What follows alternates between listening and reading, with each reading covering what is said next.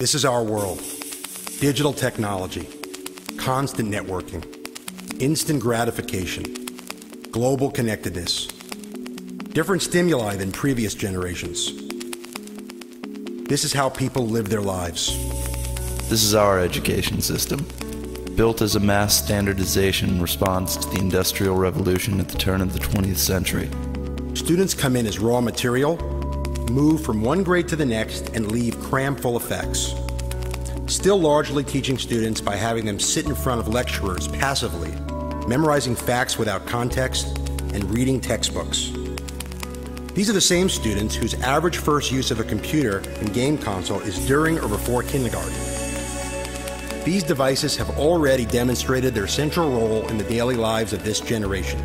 And in a time when civics literacy matters, where global awareness and technology literacy is critical to ensuring our children are prepared for the 21st century work environment, we need to innovate our learning methods.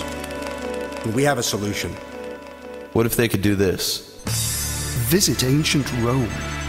Explore this majestic civilization in all its grandeur.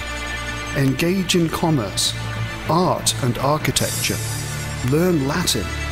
Experience the social life and see how this great civilization was the foundation of much of our way of life. And best of all, do this through a video game, aligned to standards, integrated with a learning management system, and most importantly, work on school hardware.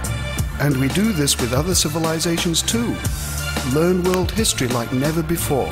Oh, and do it all in 3D. Teachers become mentors, students become empowered, and ultimately, students learn. If we get it right, kids won't even know they're learning something. This is our vision, Our hope and we're going to make it happen.